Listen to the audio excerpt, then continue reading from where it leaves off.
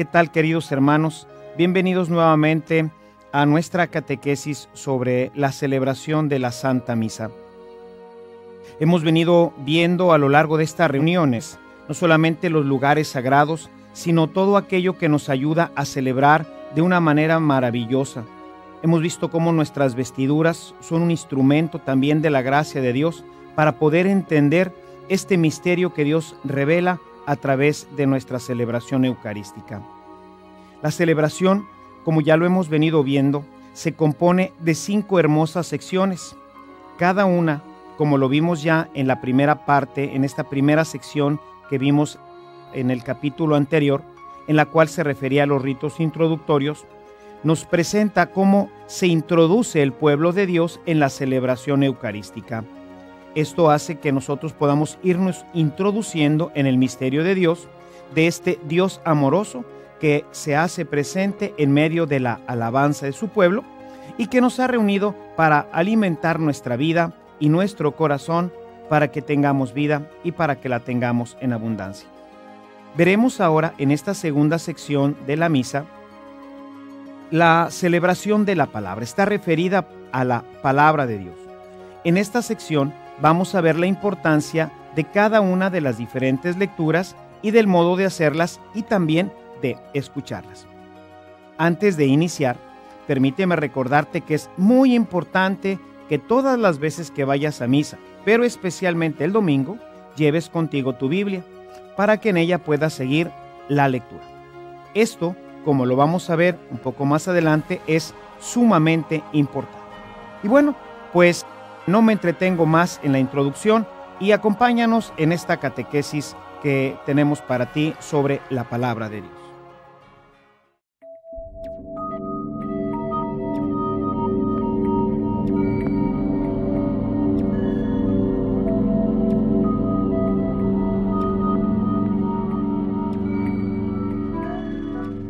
Una vez que hemos terminado lo que llamamos los ritos iniciales, entonces ahora todo mundo nos sentamos. Sentarse es una posición litúrgica de escucha.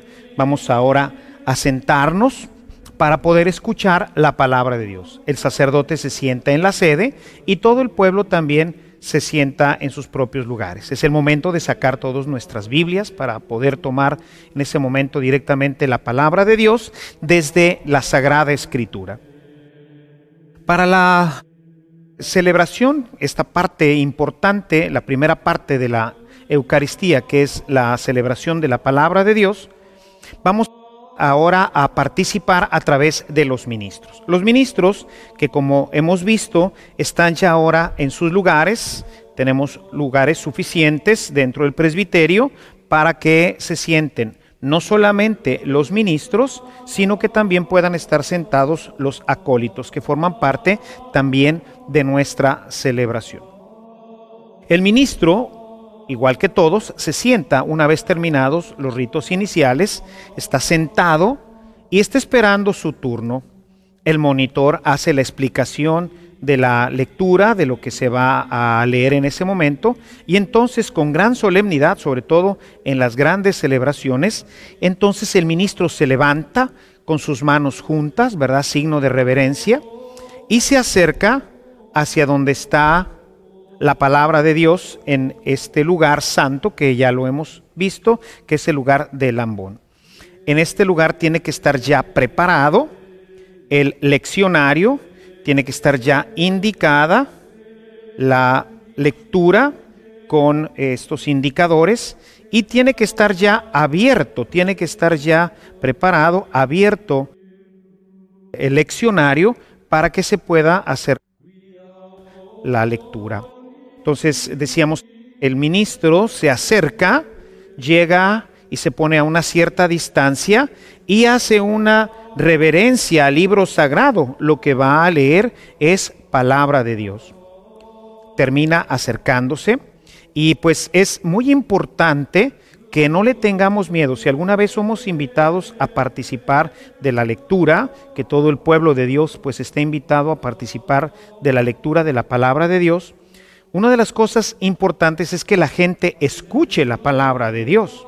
Y para ello necesitamos acomodarnos, necesitamos ajustarnos el micrófono. Hay veces que la gente se pone tan nerviosa cuando llega, quizás pues porque no ha sido orientada, esto pues normalmente el equipo de liturgia si va a invitar a algún hermano laico para que participe, o sea, que no hubiera un equipo de lectores, pues entonces el equipo de liturgia tendría que hacer un pequeño ensayo con ellos para que puedan hacer también la reverencia en su momento y puedan en un momento determinado pues participar de una forma más activa y puedan hacerlo correctamente, quitando, como ya decíamos, las rúbricas, que las rúbricas no deben de decirse, y que puedan hacer todos los gestos litúrgicos que ayuden a toda nuestra comunidad a celebrar y a entender lo que estamos celebrando y la importancia del libro y de la palabra que se va a proclamar en ese momento.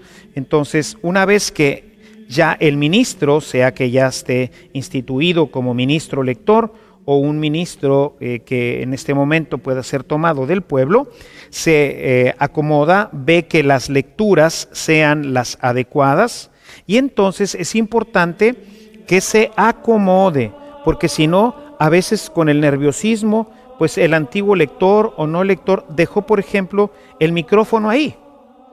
La persona se acerca para leer y obviamente pues el micrófono no lo va a captar. Y entonces, ¿qué sucede? Sucede que la gente no escucha y es el ministerio de la palabra. Entonces es importante que lo primero que haga el lector es acomodarse adecuadamente el micrófono de tal forma que su palabra, que es palabra de Dios, pueda pasar a través de todas las bocinas, de todo el sistema de audio de la parroquia y pueda ser escuchado con claridad. Entonces el ministro se acomoda el micrófono, lo pone en la posición adecuada para que pueda en este momento hacer la solemne lectura de la palabra, la cual debe de ser hecha de manera realmente sentida. No se trata del dramatismo, ¿verdad? No se trata de que estamos aquí como si fuera una telenovela, pero sin embargo tiene que expresar lo que está diciendo. El lector en ese momento pues es, ese instrumento de Dios, es el profeta. Si voy a leer un profeta, pues es el profeta que le está hablando a la comunidad. Está hablando como si este fuera Israel, este es el nuevo Israel. Y toda la palabra de Dios, pues es para nosotros. Y entonces, en la medida en que el lector va siendo preparado para poder ser un buen ministro, pues se convierte en un verdadero transmisor del mensaje de Dios. Es importante eh, que al iniciar y al final, después de anunciar la lectura, hay un pequeño momento en el que la gente pueda hacerse consciente del libro que se va a leer. Por ejemplo, si voy a leer al profeta eh, Jeremías, lectura del libro del profeta Jeremías. Momentito, un, un espacio para que la gente pueda en ese momento comprender y ubicarse. Ah, muy bien, es Jeremías. Eh, normalmente, por ejemplo, aquí en nuestra parroquia que usamos la Biblia normalmente, pues desde la hojita dominical la gente ya seleccionó su lectura y entonces en el momento en que nos sentamos, mientras el monitor está haciendo la, la preparación a la palabra, la gente se ubica en los textos sagrados y entonces puede irlo siguiendo, pero lo va siguiendo junto con una voz que está realmente personificando al profeta. Y entonces empieza su lectura, una lectura hecha despacito, sentida, como quien está asumiendo en su vida el papel de aquel que estaba en aquel tiempo hablándole al pueblo, que puede ser un profeta, que puede ser el salmista, etc.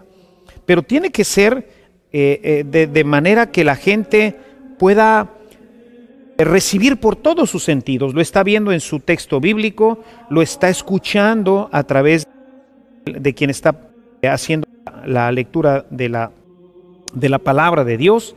Y entonces, bueno, pues todo esto va haciendo que la gente se penetre de esta palabra. Una vez que termina, cuando termina ya su lectura, al final en, tanto en la primera como en la segunda lectura que realizamos los domingos. Recuerden que estamos viendo solamente la misa del domingo, que es la misa prototipo, es la misa que todos tenemos que celebrar. Al terminar va a decir palabra de Dios. Y esto es muy importante. Es en la Sagrada Escritura, como decía, oráculo de Yahvé. ¿Qué es lo que está diciendo? Cuando está diciendo oráculo de Yahvé, es decir, esto que les acabo de decir no lo acabo de inventar, sino que esto es palabra de Dios. Es como para darle realmente sentido y que pues nos caiga realmente, como decimos, nos caiga el 20, o sea, realmente entendamos, comprendamos que lo que acabamos de escuchar es un mensaje de Dios para todos nosotros.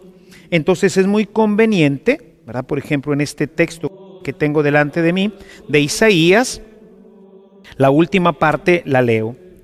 Dejen de hacer el mal, aprendan a hacer el bien, busquen la justicia, auxilien al oprimido, defiendan los derechos del huérfano y la causa de la viuda. Se levanta y como quien gritara, ¿no? No lo grita pero lo dice solemnemente. Palabra de Dios. O sea, es, es un momento en el que me hace caer en cuenta que todo esto que acabo de escuchar me lo acaba de decir Dios directamente a mí. Y entonces todos decimos, te alabamos Señor.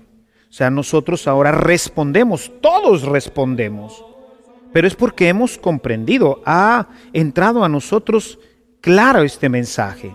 Y por eso decimos, te alabamos, Señor.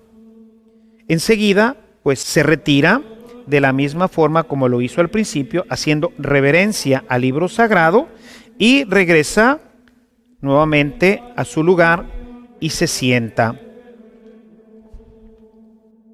Es, es muy conveniente que haya un pequeño momento entre cada uno de los lectores porque eso le da oportunidad a nuestro pueblo de ir asimilando. Muchas veces nuestras celebraciones son tan rápidas, tan aceleradas, que no alcanzamos a captar nada. La celebración se convierte simplemente en algo que vinimos a oír, algunos gestos a hacer sin comprender, sin saber, sin asimilar. Y por eso es que la Eucaristía, que es el centro y culmen de toda la vida cristiana, se convierte en un rito banal del domingo en donde salimos igual de vacíos que como entramos. Pero eso es porque no le damos espacio a cada uno de los momentos, porque no conocemos cada uno de los signos de la Eucaristía. Si nosotros damos un momentito entre cada uno de los lectores, 5, 10 segundos, y entonces eso le da oportunidad a la gente en ese silencio que se va creando después de esta de haber dicho palabra de Dios que nos simbra, es Dios quien ha hablado conmigo. Entonces ahora yo con una conciencia más clara de lo que estoy ahora haciendo, pues en ese momento puedo ya pues darme cuenta y en ese momento, bueno, pues doy un momentito, un espacio, están todos los lectores, la gente está en ese momento escuchando, está en un momentito pequeño de meditación y entonces el siguiente lector, que en este caso será el salmista, se levanta y se dirige hacia la nuevamente hacia el ambón, hace su reverencia y nuevamente el salmo. El salmo puede tener diferentes formas de realizarse. Es esencialmente un canto. Todos los salmos son cantos. Por lo tanto, es sumamente conveniente que el salmo sea, en la medida de lo posible, sea cantado. Si no se puede hacer cantado, pues entonces se puede hacer en su forma responsorial. Para ello, pues es, es muy importante que no solamente lo tenga el lector el salmo, sino que el salmo también lo tenga toda la asamblea. Esto, pues, en la forma en que nosotros tenemos nuestra nuestra liturgia establecida, los liturgistas han tomado pequeñas secciones y ellos las han acomodado de diferente forma en los en cada uno de los salmos, de manera que es difícil seguirla directamente en nuestras Biblias. Esto necesitamos tenerlo siempre en nuestra hojita dominical. Y es muy importante que el pueblo tenga en su hojita dominical lo que va a responder, porque si no, pues no lo va a poder responder. Cuando esta parte responsorial la va a hacer el coro, es importante que el coro ya haya ensayado con el salmista antes de misa. Por eso es importante no llegar a última hora a la misa, porque pues ya nos perdimos el ensayo, ya no sabemos qué es lo que va a desarrollarse dentro de nuestra celebración. Por eso la gente que llega inmediatamente al inicio o ya iniciada, pues está fuera de contexto. ¿Cuánto tiempo nos vamos a tardar en serenarnos, en pasar de la agitación del mundo para entrar en el contacto de Dios? Debemos de estar listos para nuestra celebración al menos cinco o diez minutos antes ya en el templo. Toda nuestra celebración, toda nuestra congregación, todo el pueblo de Dios debería de estar reunido no a las doce, que es la celebración, sino al diez para las doce. Para que el coro, si va a hacer alguna, algún cambio, si nos va a ensayar por ejemplo, el Salmo, bueno, pues tengamos la oportunidad de ensayar con ellos. Porque si no, pues solamente participan algunos ministros o algunos que ya se sepan este, este salmo o lo que vayamos a cantar. Entonces necesitamos estar a tiempo dentro de nuestra celebración para que podamos nosotros vivir y participar con todo el pueblo. Si va a ser cantado, bueno, pues entonces el monitor indica, bueno, ahora nuestro salmo va a ser cantado de esta forma o de esta otra, o va a ser repetido a dos coros. Y siempre es muy importante que si se va a hacer solamente proclamado, si va a ser proclamado, va a ser a dos coros, si va a ser proclamado por el salmista, en fin, cualquiera de estas formas que no son propiamente musicales en donde no se va a cantar ni lo que es el estribillo, ni lo que es el responsorio, es muy importante que haya música de fondo. Recordemos, el salmo es un canto y por lo tanto debe de estar acompañado de la música porque la música le impregna este sentido espiritual. O sea, la música comunica emociones y nosotros con el salmo estamos respondiendo a la palabra de Dios. Es una forma de responder a la palabra de Dios que acabamos de escuchar.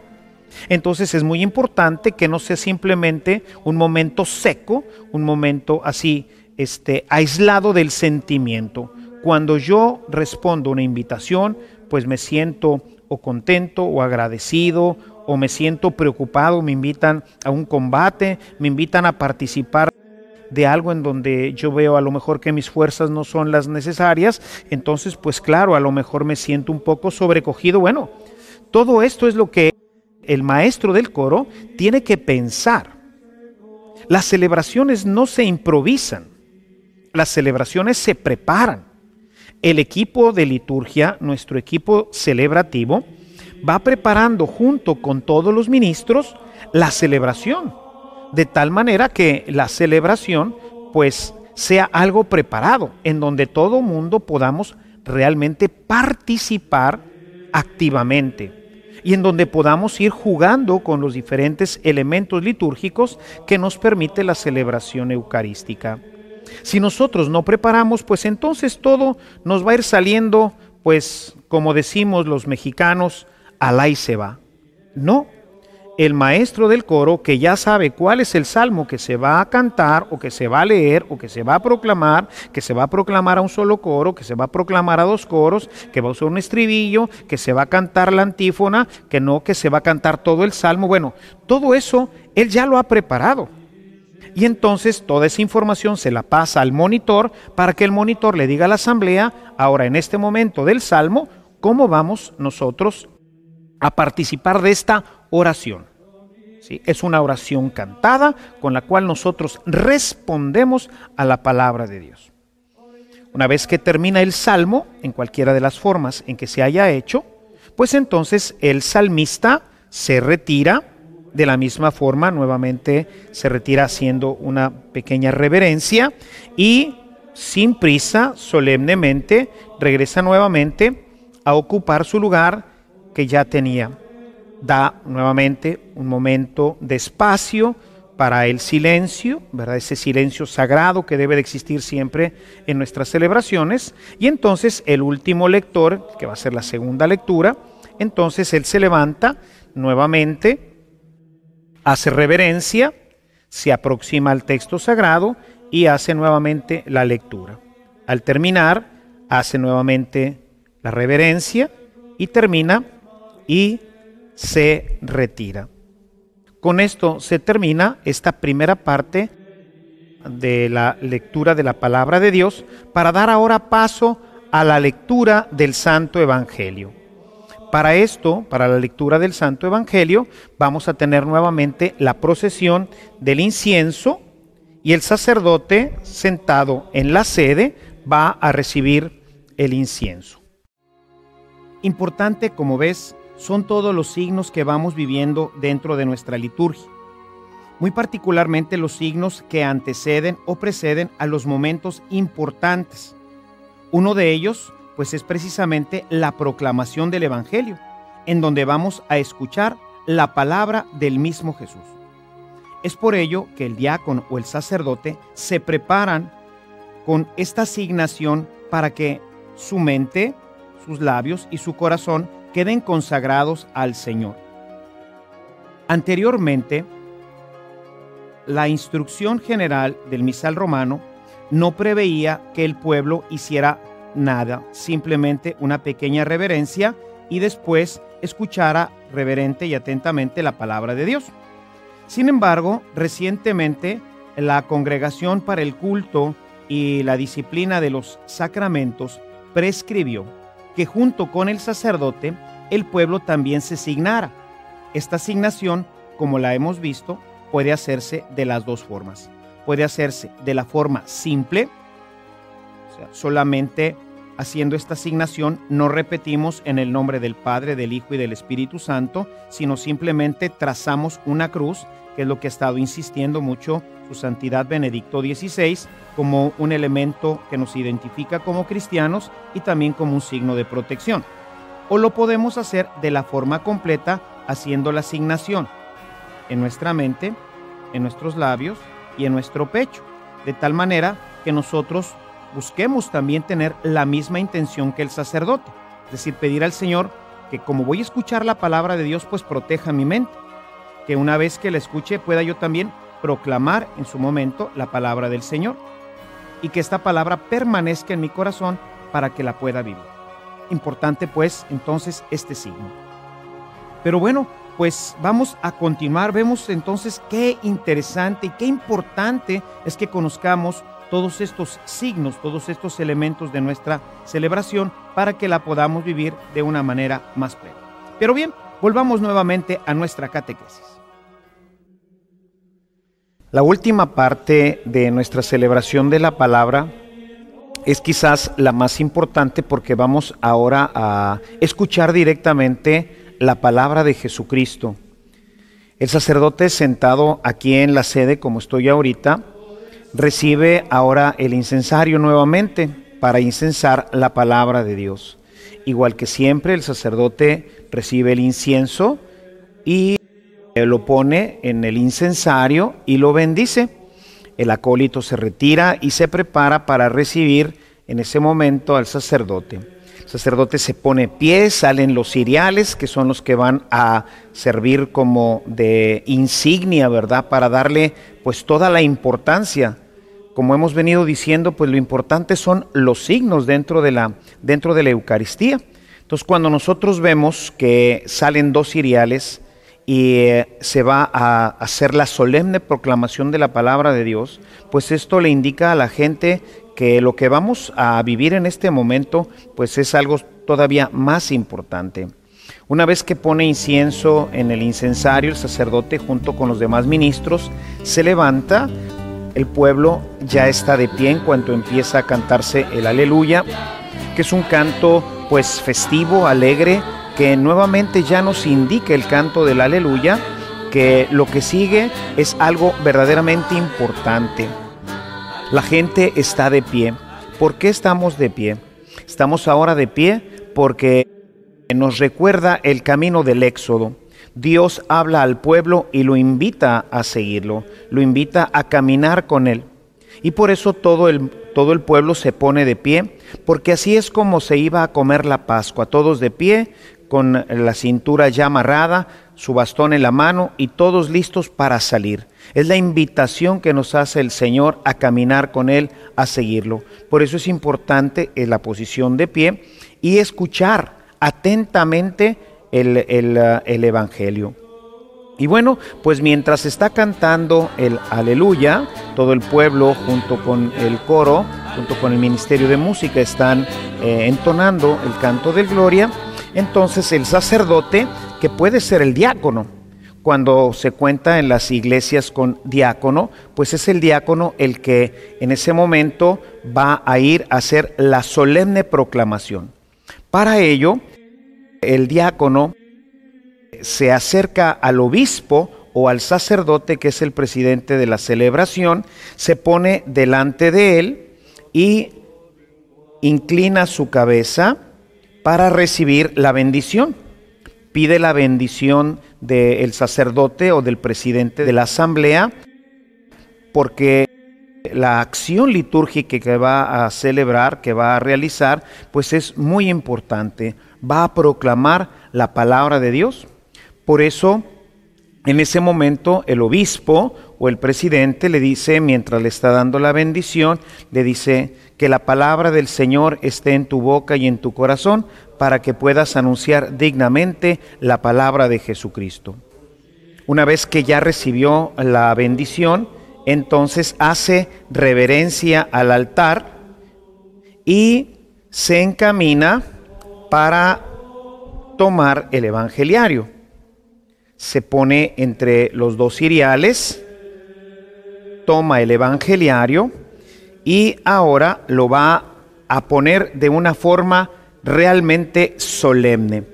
Es importante aquí que la gente pueda percibir la importancia del evangeliario y entonces por eso pues lo levanta, ¿verdad? lo más alto y lo pone así en una posición en donde él pueda entender que es completamente solemne. Se voltea y entonces ahora se va a dirigir con el evangeliario hacia el ambón.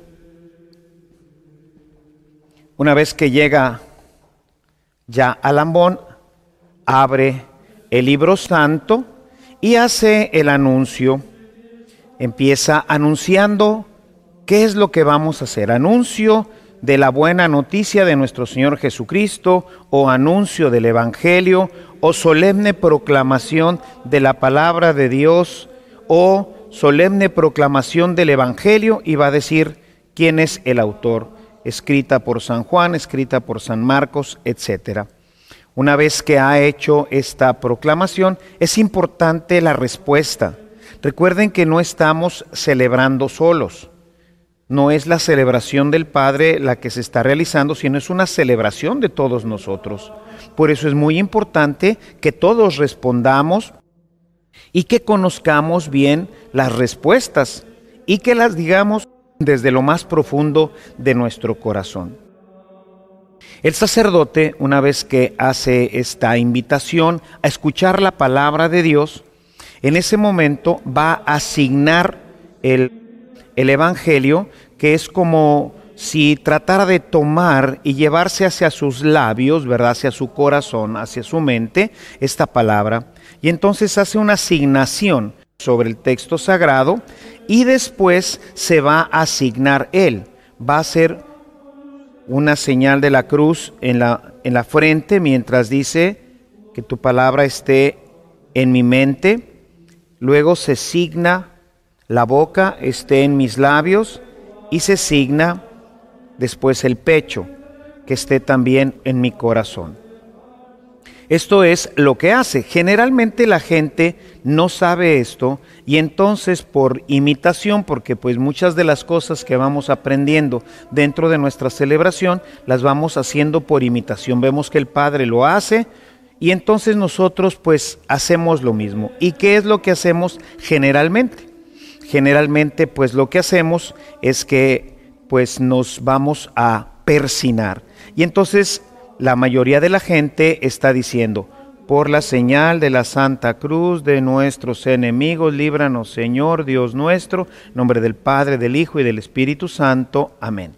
¿Cómo aprendimos a hacerlo? Generalmente en el catecismo, que es la asignación completa, haciendo una señal de la cruz en, la frente, una señal de la cruz en la boca y una señal de la cruz en el pecho para que en esta forma catequética que aprendimos cuando éramos pequeños, pues el Señor protegiera nuestras mentes, nuestros labios y nuestro corazón, y pues de esa forma son todos estos signos catequéticos que nos ayudan a entender mejor esta participación de Dios en nosotros. Sin embargo, no es el signo litúrgico del pueblo de Dios. El pueblo de Dios, mientras el sacerdote se signa para eh, tener pues esta bendición de Dios que le permita tener claridad de mente, poder proclamar su palabra y sentirla en el corazón, pues el pueblo de Dios, mientras responde, gloria a ti Señor, ¿verdad? Pues hace una reverencia, gloria a ti Señor, que es el signo natural de darle gloria al, al Señor, inclinando, como ya lo hemos visto, haciendo una pequeña reverencia hacia la palabra de Dios. De tal forma que todos, independientemente de la forma de nuestro templo, todos estemos volteando, todos estemos atentos hacia la solemne proclamación de la palabra de Dios. Entonces, el pueblo, mientras dice, gloria a ti, Señor, se inclina ligeramente. Enseguida se persina para formar una cruz en su pecho, como lo hicimos al principio de la celebración. Si alguien pues quiere hacer la asignación completa, lo puede hacer, pero pues en ese caso repita lo mismo que está haciendo el sacerdote, que tu palabra esté en mi mente, en mi boca y en mi corazón. O sea, como una señal, como un signo de recepción a la palabra de Dios, pero no decir como la mayoría de la gente hace, que está pensando que el sacerdote está haciendo el mismo acto catequético que nosotros aprendimos cuando éramos pequeños, de decir por la señal de la Santa Cruz de nuestros enemigos, líbranos Señor Dios nuestro, en el nombre del Padre, del Hijo y del Espíritu Santo. Amén.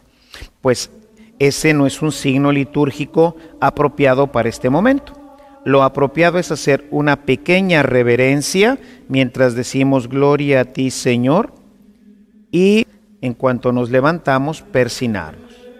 Entonces son signos, elementos importantes. Uno de los errores frecuentes y que pues denota que no, no, estamos muy claros en algunos elementos de nuestra celebración es que tan la respuesta a esta primera invitación del sacerdote cuando eh, proclama, ¿verdad? ¿Qué es lo que vamos a escuchar? Proclamación del Santo Evangelio según San Marcos y la gente dice, gloria a ti Señor, y se persina.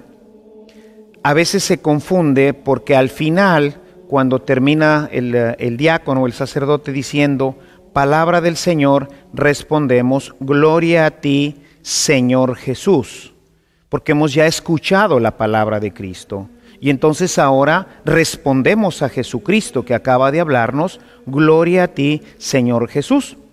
Y es muy frecuente en nuestras celebraciones que cuando el eh, diácono o el sacerdote hace el anuncio de la solemne proclamación del Evangelio, la gente responda ya todo una eh, una mezcla de gentes, unos están diciendo gloria a ti Señor y otros están diciendo gloria a ti Señor Jesús, unos se están persinando, otros se están santiguando, en fin, hay toda una confusión en todo esto. Por eso es importante que nosotros tengamos bien claros todos los elementos de nuestra liturgia para que podamos celebrar muy fructuosamente esta celebración dominical.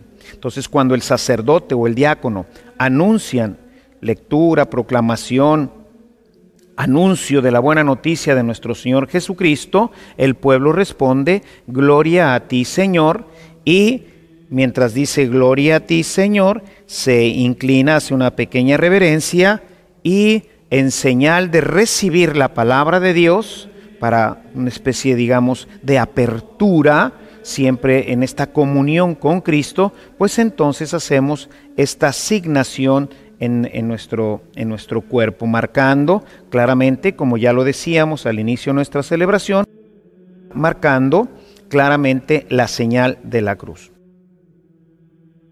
Una vez que se ha hecho el anuncio, entonces el sacerdote o el diácono se voltea para tomar el incensario y ahora como tenemos la palabra de Dios que es eh, Cristo mismo, por eso todos estamos de pie ante el Señor Jesús, entonces ahora va a hacer la incensación, pero va a ser, como ya explicábamos un poquito esto, ahora va a ser tres triples, tres golpes triples. O sea, como para indicar santo, santo, santo y tres veces esto. Es para que el pueblo comprenda que estamos directamente ante la palabra de Jesucristo. Es Jesucristo mismo quien está en este libro.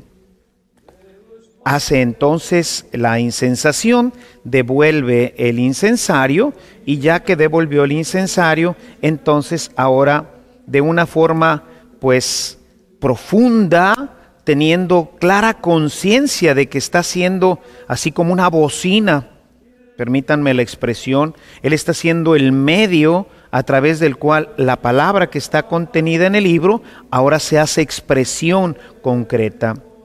No se trata de hacer un melodrama, como decía en las primeras lecturas, pero sí de darle este carácter fuerte, sentido, de tal manera que es Cristo el que ahora está hablando para el pueblo. Por eso en este momento, como es una solemne proclamación, todo mundo debe de guardar sus Biblias. No es momento de leer en este momento la palabra de Dios desde nuestra Biblia, como lo hicimos en las primeras lecturas, en donde pudimos ir siguiéndolas, incluso tomar alguna nota, hacer alguna subrayada darle a importancia a algún texto. En este momento no. En este momento todo mundo pone sus Biblias junto a sí o la trae en su brazo, pero tenemos que escuchar. Es Jesús el que va a hablar.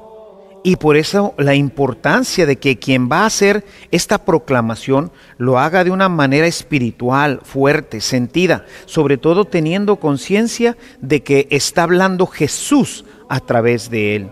No es la lectura de un cómic, no es la lectura de un libro cualquiera, sino es Jesucristo mismo quien en este momento se hace palabra. Terminada eh, la, la solemne proclamación, para darle todavía más énfasis, entonces el sacerdote o el diácono levantan la Sagrada Escritura cuando dicen palabra del Señor. Y entonces es cuando decíamos que viene un poquito la confusión y algunos responden gloria a ti Señor y otros están diciendo gloria a ti Señor Jesús. La respuesta que debemos dar a esta solemne proclamación es gloria a ti Señor Jesús. Y nuevamente, cada vez que decimos pues gloria a ti, acompañamos nuestras palabras con los gestos. Desafortunadamente nuestra pues nuestra iglesia se ha quedado como una iglesia hierática, siempre como que no, no, no, no tenemos esa espontaneidad, no expresamos. Si yo estoy diciendo gloria a ti, o gloria a ti Señor Jesús, o gloria a ti eh, Jesucristo y estoy diciendo, estoy glorificándolo, pues voy a acompañar este, este gesto, esta, esta palabra con un gesto y entonces hago una pequeña reverencia. Enseguida el eh, sacerdote o el diácono puede hacer diferentes acciones. Generalmente se levanta la palabra de Dios, que se puede levantar así, o se puede levantar así, o se puede levantar de esta forma. Todo esto puede ser con música o sin música. La Sagrada Liturgia recomienda que se haga mientras se entona nuevamente el canto del aleluya. Es como enmarcar. Tendríamos al centro la palabra de Jesucristo y queda enmarcada por el aleluya que la precede, o sea, un canto aleluyático. Recuerden que la palabra aleluya significa alaben a Dios, del verbo alejem, que es alabar, y ya que es el apócope de Yahvé, aleluya, es alaben, denle gloria al Señor. Y entonces queda así como enmarcado ahora la palabra de Dios por un canto festivo donde estamos alabando este momento y se concluye, se cierra, se enmarca nuevamente con el, el canto del aleluya. Cuando es presidida por el obispo, entonces el diácono, lleva la Sagrada Escritura, la lleva hacia el obispo y se le entrega, le entrega la palabra al obispo y entonces el obispo va a bendecir al pueblo con la palabra de Dios. Y entonces tomando la palabra de Dios, hace una gran cruz para bendecir con la palabra de Dios al pueblo lo puede hacer desde la sede, que es lo normal, o si el sacerdote es quien está presidiendo, él puede hacerlo también de aquí, o si es el sacerdote el que leyó directamente la palabra de Dios, podría hacerlo desde adelante. Pero esto tiene que hacerse de una forma realmente pues muy solemne. Si fue que vino a entregársela al obispo, bueno, pues entonces nuevamente recibe la palabra de Dios del obispo y regresa nuevamente de forma solemne y deposita la palabra de Dios. En cualquiera de los casos, tanto si es el diácono, si es el sacerdote o el obispo, se concluye besando la palabra de Dios. Si está el obispo presidiendo, el diácono la lleva para que el obispo bese la palabra de Dios de la misma forma que hemos besado todos los sacerdotes el altar, porque es, es Cristo mismo en, en la figura del altar. Entonces, besa el libro santo, sea el sacerdote, sea el diácono o el obispo. Para, es un signo para todo el pueblo del reconocimiento de la presencia real de Jesucristo en el texto sagrado. Una vez que se besa el texto sagrado, entonces se deja nuevamente sobre el ambón. En algunas iglesias, pues dejan luego ya el texto sagrado en otra parte y pues no debe de ser. Esto, valga ahorita la pena hacer el comentario, solamente se hace con el evangeliario. No debe de hacerse, dice la, el, el ritual romano, que no debe de hacerse con el leccionario. El leccionario que contiene también el evangelio, ordinariamente no debe de ser usado, al menos en las liturgias del domingo, para la proclamación solemne del Evangelio. Tiene que hacerse con un libro independiente. Esto le da pues una es un signo todavía mucho más elocuente para la gente de la importancia del texto. A veces tenemos que pues se hace esto solamente con el leccionario y no debe de ser, debe de ser hecho con el evangeliario. Claro, bueno, pues si en una comunidad no se tiene el evangeliario, pues entonces simplemente se besa el libro, pero todos los demás elementos deben de reducirse para que se maximice cuando se trata del evangelio. O sea, que todo mundo se dé cuenta de que lo que acabamos de hacer, pues es una solemne proclamación de la palabra de Jesucristo. Con esto se cierra este momento y esto da inicio a, la homilía. Para la homilía, que le es propia al sacerdote o al diácono, puede hacer la homilía directamente desde el ambón, que es el lugar de la palabra de Dios, y es donde ordinariamente lo hace la gente. Puede ser desde la sede, Generalmente los obispos, si ustedes ven una celebración papal, van a ver que el Santo Padre dirige su homilía directamente desde eh, la, sede, porque en la sede es, eh, como ya lo explicábamos cuando veíamos los lugares, es donde el presidente dirige su mensaje a la asamblea. Es el lugar digamos, de la palabra de Dios. Desde ahí se hace la catequesis. También por eso se llama cátedra. El lugar de la sede, decíamos, se llama también cátedra porque desde ahí se imparte la instrucción para todo el pueblo de Dios. Sin embargo, puede hacerse perfectamente, lo prevén las normas litúrgicas, directamente desde el ambón, que es el lugar de la palabra de Dios, o bien puede uno pues moverse un poco aquí en el presbiterio, sobre todo ahora que contamos ya con los micrófonos inalámbricos.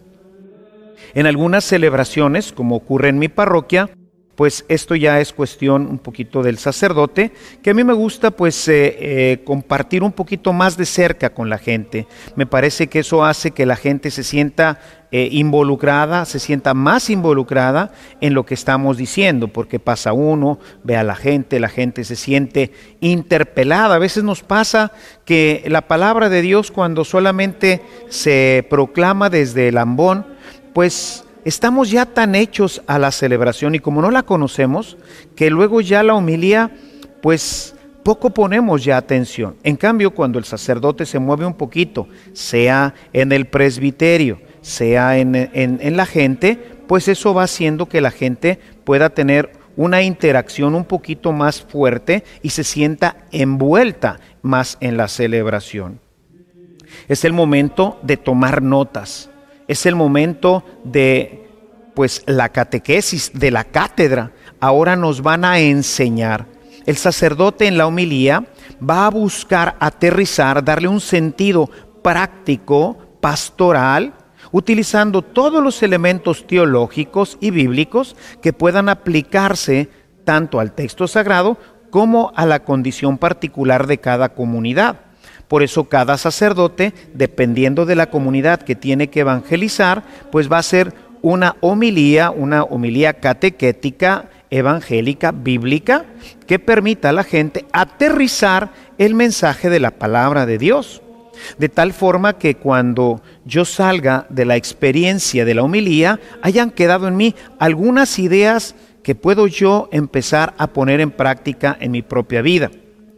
Importante que eh, pueda yo tomar algunas notas, porque por más que nosotros tratemos de retener todo lo que nos dice un sacerdote durante su homilía, es realmente difícil.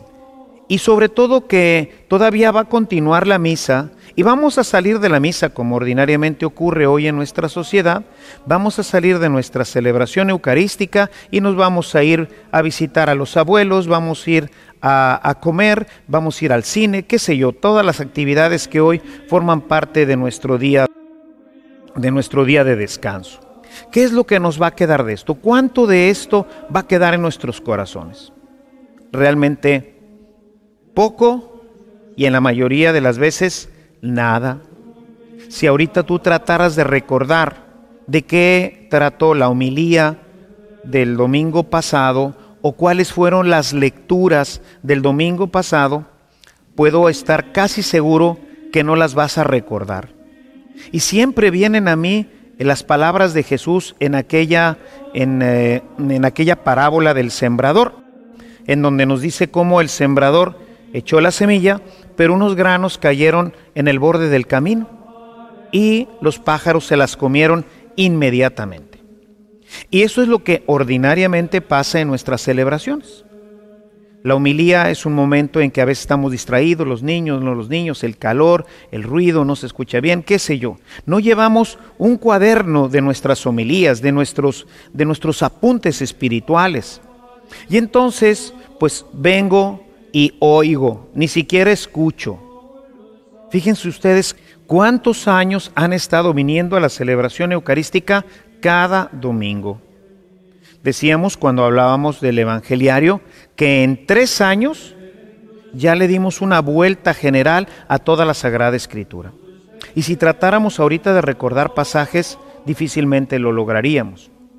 Más aún, de todos estos pasajes, en todos estos años, cuánto hemos puesto en práctica.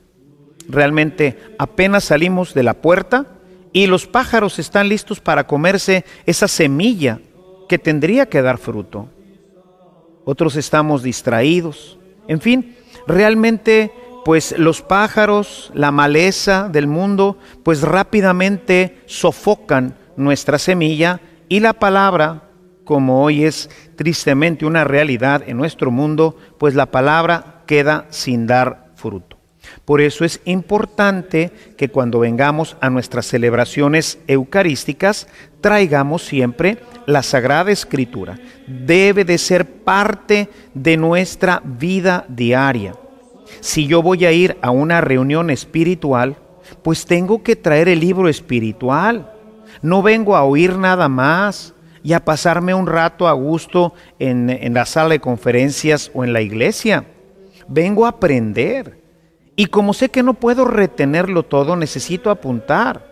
Y después en la semana sacar mis notas y volver nuevamente sobre el texto, volver nuevamente sobre la instrucción que ha dado el conferencista o en este caso el sacerdote. Venir a misa, como se decía antes, a oír misa no tiene sentido.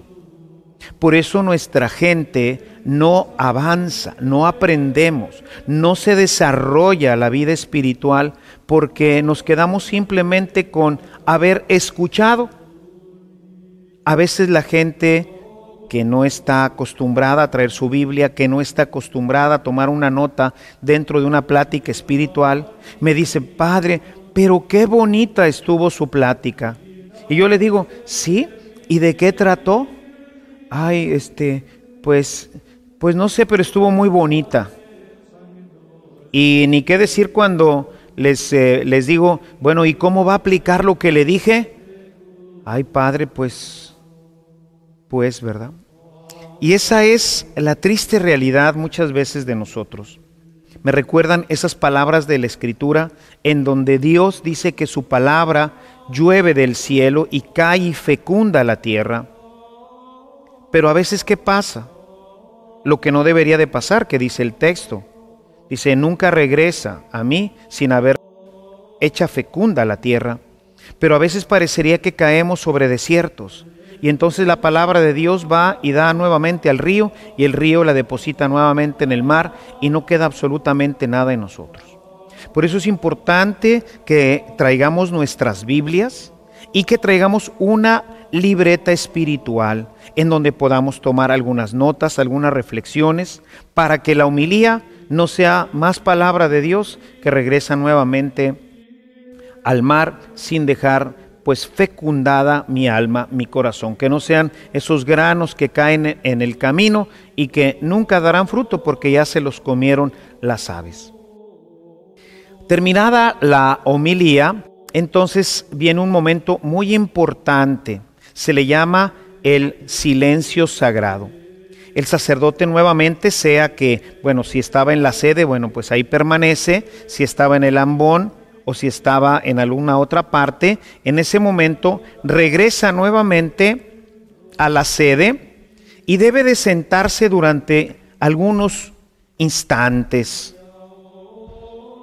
Ideal, un minuto, par de minutos, que si nosotros lo vemos, pues es eh, realmente nada, un, minuto o un par de minutos en donde todos cerramos nuestros ojos, en donde todos en ese momento, pues dejamos que la palabra de Dios verdaderamente toque nuestro corazón, o sea, como que permee. Porque si no inmediatamente ya seguimos con lo que sigue, el credo, las respuestas y nuevamente la palabra de Dios pues regresa al mar, ¿verdad? La capturan los ríos, esos lugares áridos y nunca llega a dar fruto, ¿no? La liturgia prevé este momento después de la humilía, un momento de silencio. No hay canto, no hay nada.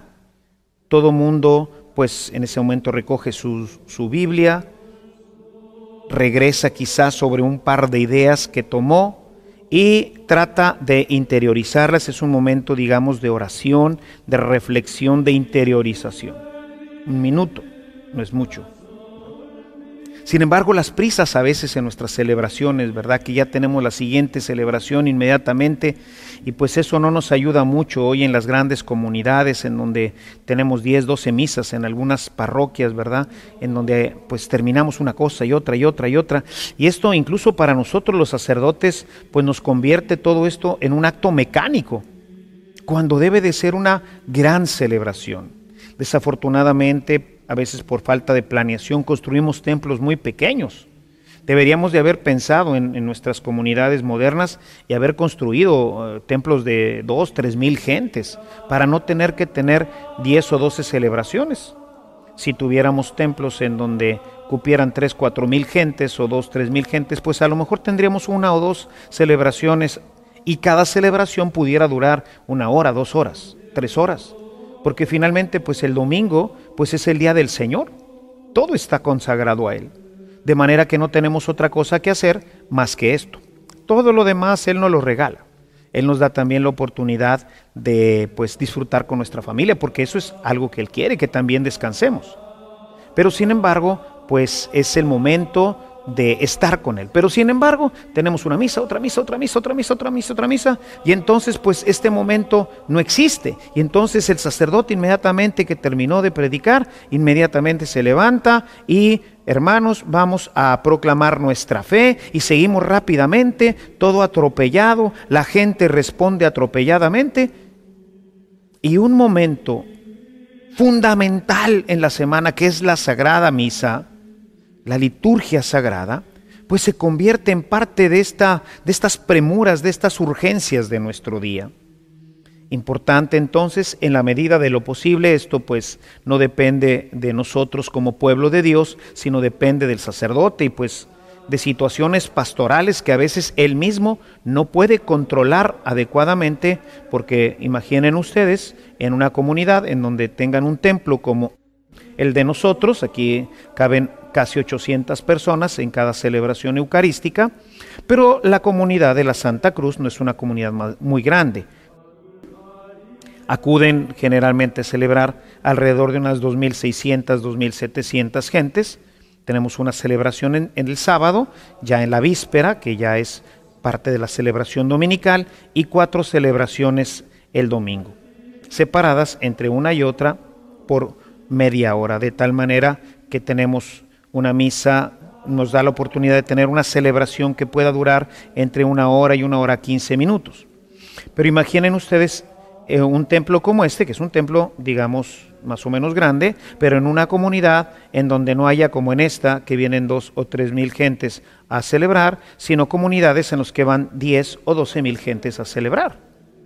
Pues ahí el sacerdote, en una comunidad como esta, pues no, no puede tener cuatro misas, tiene que tener al menos ocho misas o más misas para poder servir a la comunidad, porque no caben en el templo. Y entonces eso hace que el sacerdote tenga que poner las misas todas pegaditas para poder cubrir el espacio de tiempo en el que la gente puede venir a celebrar.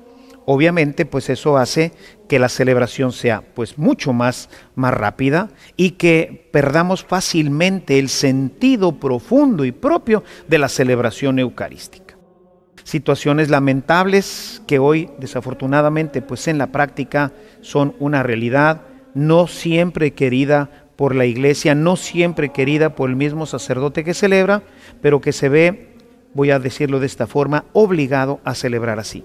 Entonces, bueno, al menos tener conciencia y en la medida de lo posible, pues ir rescatando lo más que podamos, al menos en signos, en elementos, y qué bueno sería que también lo pudiéramos hacer en tiempo para que nuestra celebración sea cada vez más rica y más profunda.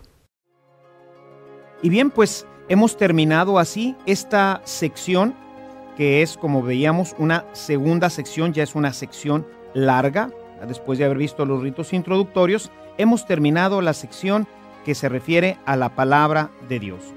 Vamos ahora a ver una siguiente sección que algunos liturgistas llaman la parte central de la celebración, pues está referida a la celebración eucarística, en la cual, mediante las palabras y los signos que dice y realiza el sacerdote, se hará presente entre nosotros de manera maravillosa, el Señor Jesús, en cuerpo y sangre. Esta es la tercera gran sección de nuestra celebración y nos va a elevar realmente a la presencia de Dios. Nuestro templo, de una forma magnífica e increíble, se va a convertir ahora en un pedacito de cielo. Los ángeles inundarán nuestro templo y resonarán sus cantos de alabanza al hacerse presente en medio de nosotros el Señor de los cielos con toda su majestad y todo su poder. Aunque nosotros solo podamos continuar viendo lo que parece ahora un pedacito de pan y un poco de vino, en realidad estaremos ahora delante de Jesucristo. Es su cuerpo y su sangre. Es el cuerpo y la sangre del Señor que ha resucitado, de Jesús que se hace presente ahora entre nosotros para acompañarnos como Él lo prometió, toda nuestra historia hasta la consumación de los siglos.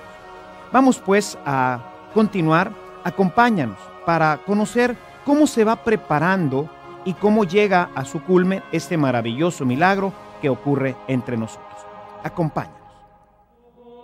El sacerdote termina este momento sagrado, un minuto, medio minuto, bueno, lo que se pueda rescatar, y entonces se pone de pie e invita a la comunidad para que se haga la profesión de fe. La profesión de fe se puede hacer de tres formas, básicamente. La primera forma, que es recitando o proclamando nuestra fe usando el credo que se llama de los apóstoles. Es un credo corto. Ordinariamente este credo se utiliza durante las celebraciones de la Pascua, porque nos hace entrar en comunión muy cercana con aquella primera comunidad, recitando lo que recitaron nuestros padres en la fe al inicio del cristianismo, en la Pascua, que es nuevamente revivir todo este espíritu, todo este ambiente festivo de la resurrección del Señor, el proclamar el credo que llamamos de los apóstoles, pues nos revive esta experiencia de la primera comunidad.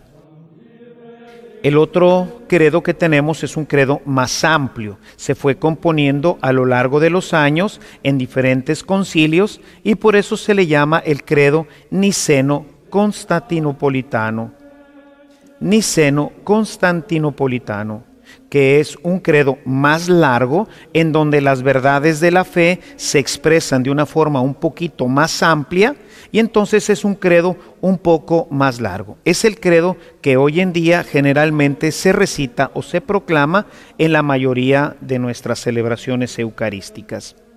Y existe una tercera forma que tiene que ver con nuestro bautismo. Como es una solemne proclamación de nuestra fe, podemos, especialmente en algunos domingos de la Pascua, el utilizar la forma bautismal, en donde es el sacerdote quien hace las preguntas. ¿Creen en Dios Padre Todopoderoso, Creador del cielo y de la tierra? Sí creo. Y así va preguntándole a la gente sobre estas verdades de la fe si las cree cuando se hace esto es muy importante que respondamos de forma personal. Sí creo. Porque yo soy el que creo, no es sí creemos, es una respuesta que yo doy directamente de mi fe. ¿Creen en Dios Padre Todopoderoso, Creador del cielo y de la tierra? Sí creo. Y además debe de ser hecha así, como dicen, ¿verdad? Con enjundia, con fuerza. O sea, yo creo en esto. En algunas celebraciones, sobre todo en celebraciones muy particulares, especiales o quizás durante la Pascua, en algunas comunidades se acostumbra un signo corporal que acompaña esta solemne proclamación, que es poner nuestra mano izquierda sobre nuestro corazón y como si fuera una solemne proclamación, sí creo, mientras mantengo mi, mano izquierda, ¿verdad? Que es la mano del corazón, en, en mi pecho, y levanto mi mano como testificando con el corazón. O sea, de corazón creo esto, sí creo. Se puede también hacer con las otras formas. Todos estos son elementos litúrgicos, son riquezas de nuestra liturgia que pueden ser utilizados en, en diferentes momentos de nuestro ciclo litúrgico. Todo esto pues obviamente forma parte de este desarrollo que se prevé para cada una de las celebraciones, tanto con el equipo celebrativo como con el eh, sacerdote o el diácono o todo el equipo que va, va, a ir desarrollando cada una de nuestras liturgias. Y bueno, terminada el momento de la solemne proclamación de mi fe, en ese momento viene otro momento importante que es la oración universal, que debe de ser hecha todos los domingos. La oración universal pretende ahora de manera colectiva pedir por las necesidades de todo nuestro pueblo. Pedimos principal y particularmente por el Papa, los obispos, los sacerdotes, y después pedimos por algunas de las necesidades especiales de la Iglesia Universal. Pero es el momento de incluir dentro de esta oración al pueblo de Dios. Y entonces podemos hacerlo de forma inclusiva. El ordenamiento litúrgico nos dice que lo que sigue ya no es palabra de Dios, por lo tanto no debe de ser hecha desde el ambón. La oración universal no debe de ser hecha desde el ambón. Debe de ser hecha de manera natural y ordinaria desde, si se tiene, ¿verdad? Se ha de hacer desde el atril. Ahí en el atril es desde donde se hace normalmente por el monitor o por algún laico la oración universal. Puede hacerse también invitando a las personas del pueblo, que hoy eh, especialmente después del Concilio Vaticano II, se ha querido pues integrar más a la comunidad. Por eso ya decíamos que se quitó el comulgatorio y el presbiterio queda como un lugar mucho más integrado a la, asamblea para que todos se sientan que todos estamos participando.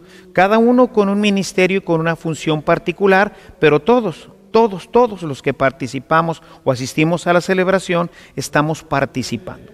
Entonces, en algunas iglesias, ¿verdad? En algunas celebraciones se invita a las familias o se invita a algún grupo particular que está teniendo alguna celebración para que pase y entre todos se haga esta oración universal. Sin embargo, el lugar, pues, litúrgico para hacer esto sería no el ambón, sino el atril u otro lugar dentro del presbiterio o abajo del presbiterio para hacer esta oración.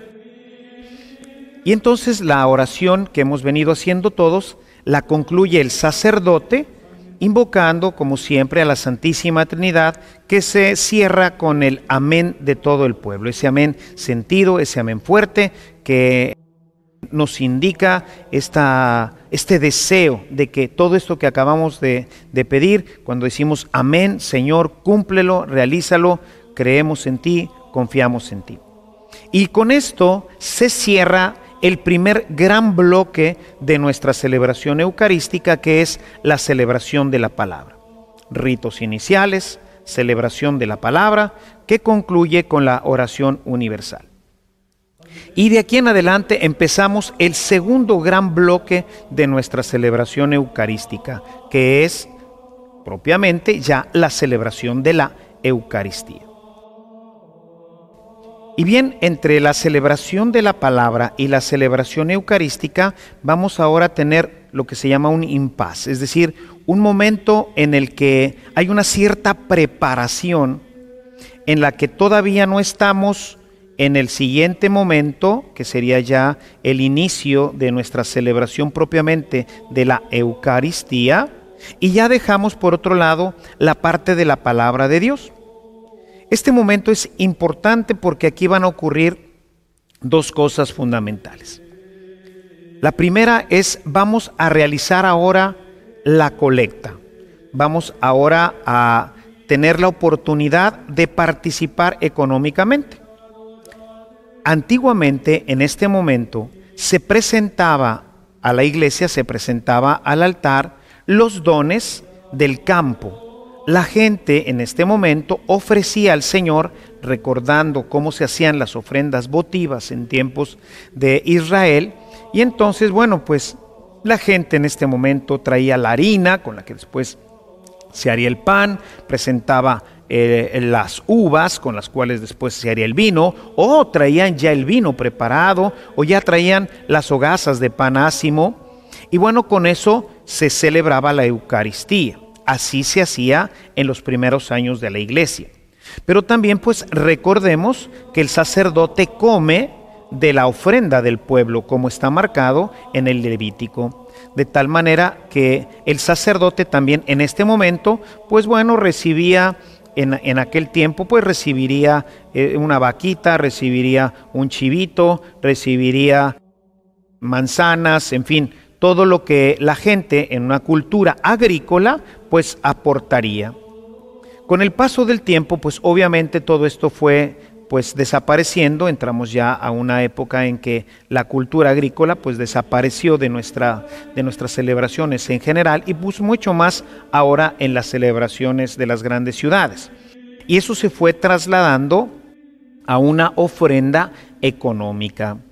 Desafortunadamente caímos en un vicio de llamarle limosna. Ahora vamos a pasar la limosna.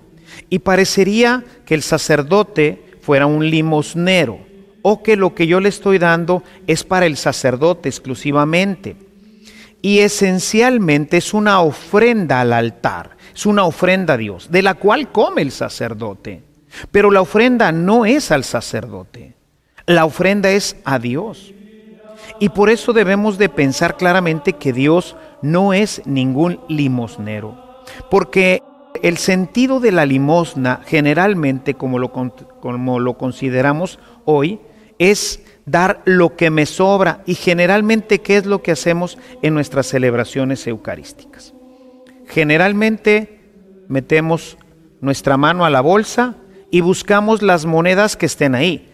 A veces, pues hasta las de menos valor, dándole al Señor realmente lo que me sobra, unas cuantas moneditas.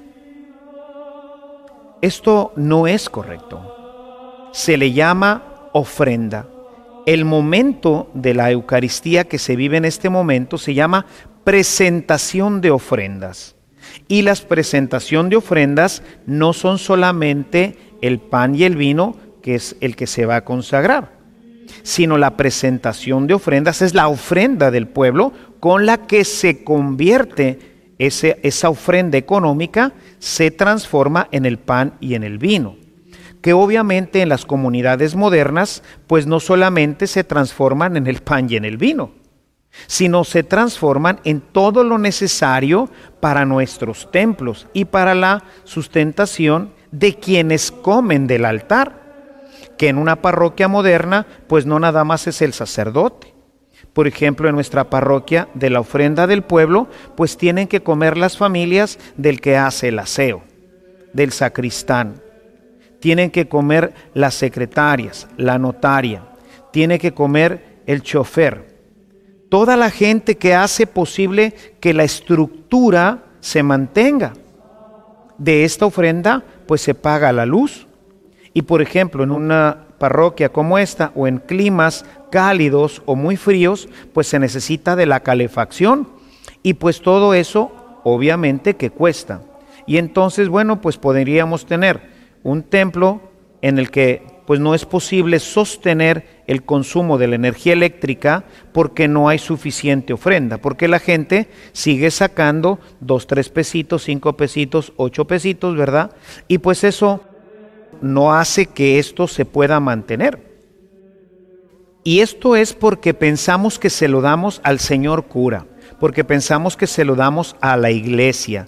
Y luego pensamos, no, y la iglesia tanto que tiene, y luego pues vemos este lugar así todo bonito y con aire acondicionado, y decimos, pues para qué yo con los 20 pesos que ponga, pues con eso es suficiente. Y digo 20 pesos por decir mucho, hay gente que no pone ni los 20 pesos. Entonces, ¿con qué se mantiene todo esto? Se mantiene con la ofrenda. Si todo esto es bonito es porque la gente ha ofrendado, porque finalmente la ofrenda es para esto. La ofrenda es para tener bancas, es para tener corriente eléctrica, es para tener servicios de agua, es para tener que el sacerdote pueda comer. Dice, no, pero con eso compró su carro, ¿sí? En las comunidades modernas, pues el sacerdote de dónde va a obtener para tener un automóvil que necesita para ir a ver enfermos en la noche, en, el día, para asistir a juntas, para todo lo que tiene que hacer. Ya no vivimos en las comunidades rurales en donde el sacerdote pues igual tendría que tener una mulita, un caballo que pues de alguna forma llegó, ¿verdad? Y tendría que darle de comer a la mula y tendría que darle de comer al caballo, en fin la ofrenda es un momento muy importante y muy santo porque es a Dios. Lo que yo ofrendo, se lo ofrendo a Dios. Señor, vengo a agradecerte el producto de toda esta semana y como ofrenda quiero darte esto. Por eso es algo que yo tengo que decidir desde mi casa. Es lo que yo le voy a dar al Señor. Y no se trata de darle 5 pesos, 10 pesos, 50, 2 mil, 3 mil. No, es lo que yo quiero ofrendar. El Señor ha sido bueno conmigo y me ha bendecido ampliamente. ¿Cómo le dices al Señor gracias? ¿Así? ¿Gracias? ¿Sin dar lo que estas gracias merece? No. No se trata entonces de poner una cantidad. Jesús, estando en el templo, vio como una, una mujer viuda ponía dos moneditas de muy poco valor y les dijo a sus discípulos, esta mujer puso más que todos los demás, porque esta mujer puso todo lo que tenía para vivir. Es decir, esa mujer comprendía que estaba haciendo una ofrenda al templo. Nosotros también tenemos que comprender que estamos haciendo una ofrenda al templo, que estamos haciendo una ofrenda al Señor. ¿Cuánto? Lo que decida tu corazón. Pero decide en tu corazón.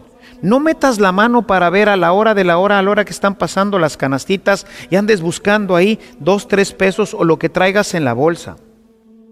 A lo mejor no tienes más que un peso porque eso es todo lo que tienes para comer, porque eso es todo lo que tienes para ofrendarle al Señor. Bueno, pues pon un peso, pero ponlo desde tu corazón, haciéndote consciente de lo que estás haciendo debemos de dejar de hacer en nuestras liturgias eucarísticas, tenemos que dejar de hacer actos autómatas, simplemente porque así es. No, cada uno de los elementos de nuestra liturgia tiene un porqué, una razón fundamental.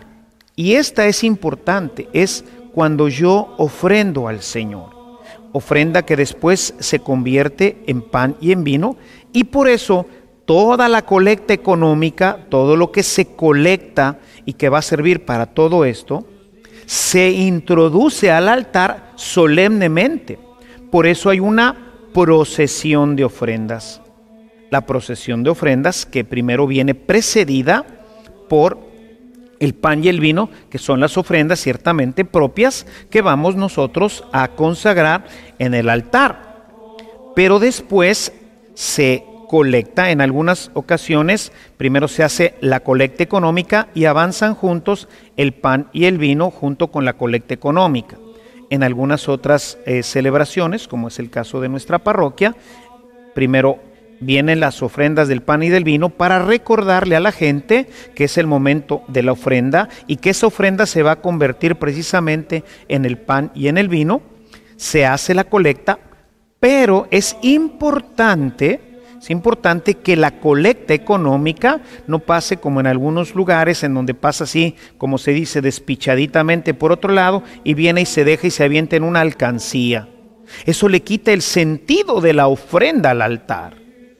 Entonces, la ofrenda, una vez colectada, entra también en procesión exactamente igual como entró la ofrenda del pan y del vino, el sacerdote, de la misma forma que vino a recibir las ofrendas del pan y del vino, ahora recibe la ofrenda económica. Recibe la ofrenda económica, ¿verdad? Dándole gracias a Dios que ha sido generoso a través de su pueblo y pidiendo que la bendición siga abundando en las casas de aquellos que generosamente contribuyen para el sostenimiento de la casa de Dios. Toma la ofrenda y la pone junto al altar, en alguna parte del altar. No hay un, no hay un lugar específico para poner la ofrenda. Se pone en alguna parte del altar porque es la ofrenda del pueblo que igual que el pan y el vino que ahora están ya sobre el altar, bueno, pues aquí es, no lo ponemos sobre el altar porque no es el lugar propio, pero junto al altar es la ofrenda propia, para que no se quede nada más en la parte monetaria, en la parte pecuniaria. Tenemos que volverle a dar un sentido espiritual, religioso a nuestra parte económica. Dios no necesita de nuestra, de nuestra ayuda económica. Sin embargo, es una forma nosotros de decirle, Señor, esto es lo que me diste, esto es lo que hoy yo te entrego en el Antiguo Testamento se nos habla de la institución del diezmo, en la que en un momento determinado pues valdría la pena reflexionar. No es este espacio el apropiado para reflexionar sobre el tema del diezmo, pero está conectado directamente con la ofrenda dominical. Es lo que nosotros aportamos a Dios. El Señor pedía que fuera el 10%, nos quedamos con el 90% y el 10% era para Él era para su templo, era para las necesidades de los sacerdotes, que hoy en día pues esto se convierte en bienes para los pobres. La primera comunidad nos dice que todos ponían lo que tenían al servicio de la iglesia, cuando dice lo ponían a los pies de los apóstoles, lo ponían al servicio de la iglesia, y dice que no faltaba nada a nadie, porque todo se distribuía entre todos. Entonces nuestra ofrenda dominical, una parte va también para los pobres, para las personas necesitadas. Otra parte pues va para el sostenimiento de la iglesia y otra parte va para la evangelización, para que podamos pues propagar el evangelio. Todo y cuesta. Si voy a hacer un folletito, pues me cuesta.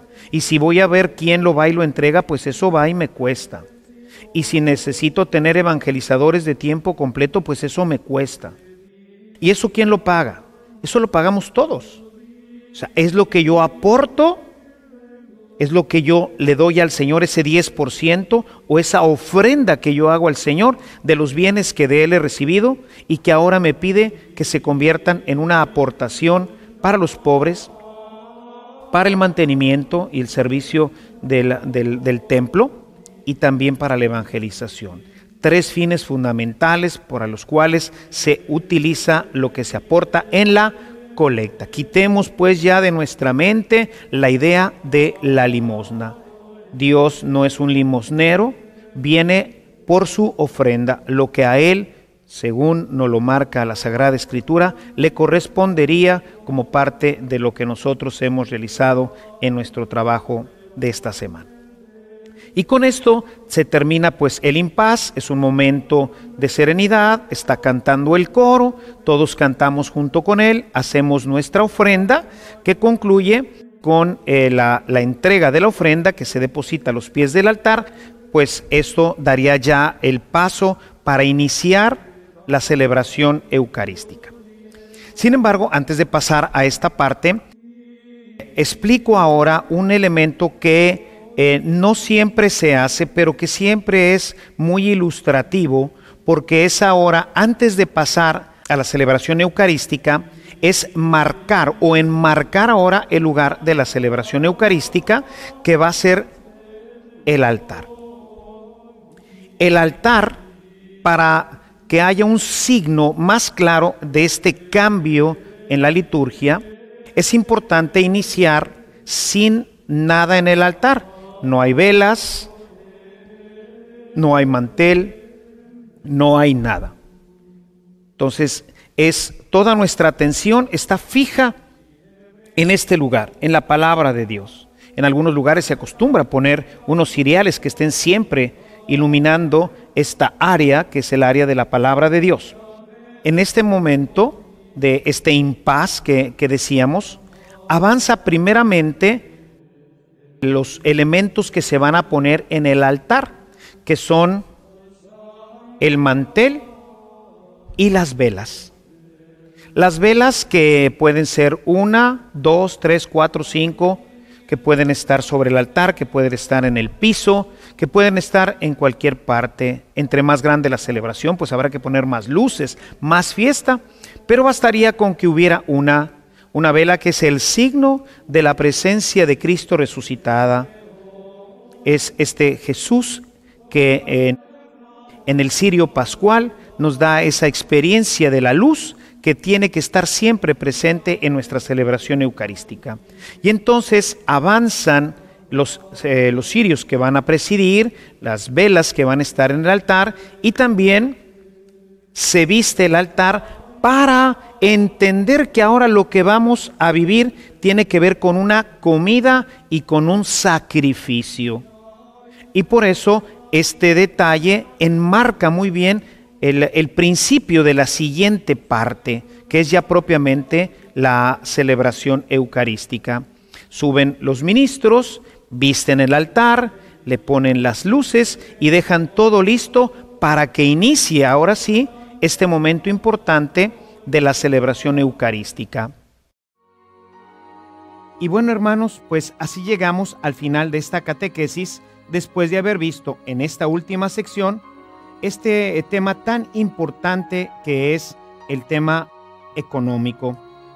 Hemos querido detenernos para hacer una catequesis un poquito más larga sobre este elemento de nuestra celebración que muchas veces lo consideramos solamente bajo el aspecto económico, el aspecto del dinero.